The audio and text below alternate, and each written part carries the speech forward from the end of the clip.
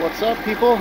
So working on a Subaru STI, it's 2004 and it has a misfire. The engine is shaking right now. It's running. I don't know if you can see it but there it goes. It's misfiring. Uh, it has a P0302 which is number two cylinder which is over here. This is one and three. This is two and four. So I'm going to use this tool. This is a uh, CLP Quick VS probe. Okay.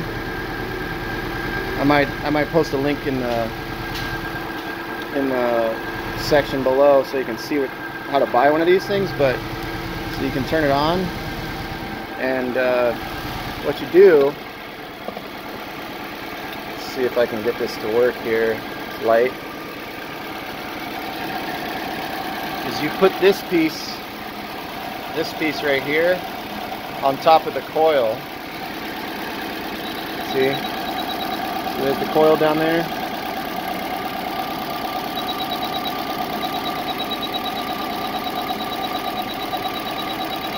And see what it shows it's flashing.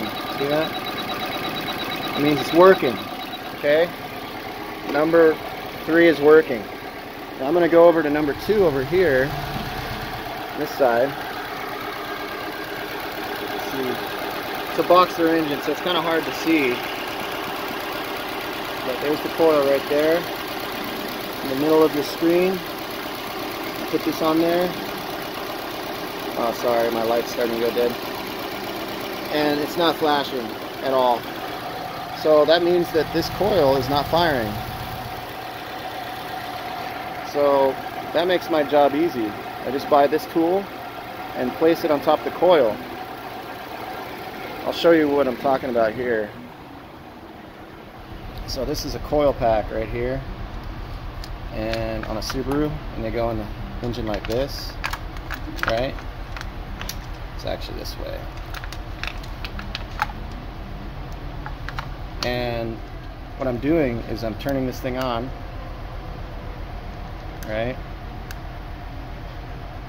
And then I'm attach I'm putting it like that right on top of the coil while it's running and you can make a little adjustment how sensitive it is.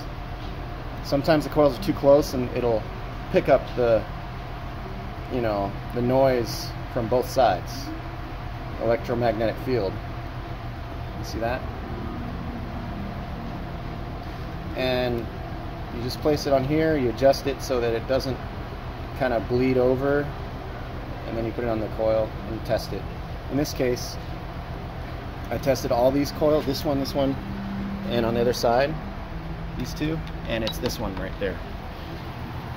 So there you have it guys. I hope uh, this will help you. Uh, it's a badass tool to test coils. It's a lot easier than pulling it all apart and swapping it, you can just install it and you're good to go, you know? I mean, you can just put place this on top and test the coil. So I'll post a link below where you can buy it. I'm not making any money off it. Maybe I, I wish I could, but I can't. Anyway, uh, if this is helpful to you, please share it. Uh, I would appreciate that. You know? And uh, hit that like button or write a comment uh, if you have any anything to add to this video. Peace out, guys.